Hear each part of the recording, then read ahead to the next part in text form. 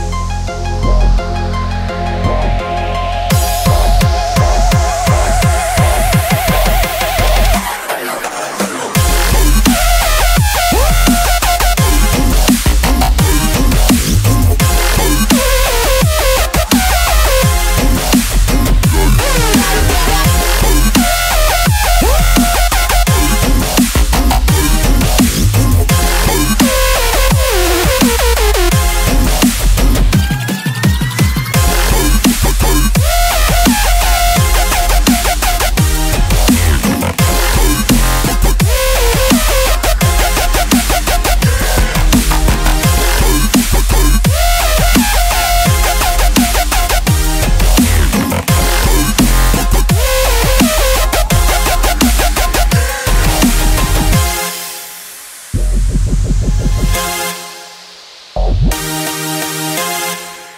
right back.